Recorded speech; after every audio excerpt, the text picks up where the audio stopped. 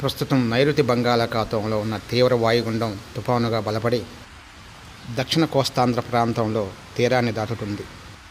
తుఫాను గమన దిశను తెలియజేస్తూ వాతావరణ శాఖ విడుదల చేసిన తాజా పటమిది. ఆంధ్రప్రదేశ్ సబ్ తమిళనాడు సరిహద్దుల వద్ద తీరానికి సమీపిస్తుంది. ఉమ్మడి నెల్లూరు జిల్లా తీరం వెంబడి కదులుతూ ఈ తుఫాను ఒంగోలు వద్ద తీరాన్ని దాటుతుంది. తర్వాత తీరం వెంబడి కదులుతూ భూభాగం మీదకు వస్తుంది. గుంటూరుకు తూర్పున చీరాల బాపట్ల మీదుగా తెనాలి మీదుగా విజయవాడ వైపు కదులుతుంది. ఈ తుఫాను కదలికలను తెలియజేసే తాజా చిత్రం ఇది. రాయలసీమ పశ్చిమ ప్రాంతం మినహా మొత్తం ఆంధ్రప్రదేశ్ రాష్ట్రం మీద ఈ తుఫాను ప్రభావం ఉంటుంది. ఈ తుఫాను ప్రభావంతో ప్రధానంగా దక్షిణ కోస్తా జిల్లాలు మధ్య కోస్తా జిల్లాలలో భారీ వర్షాలు కురుస్తాయి.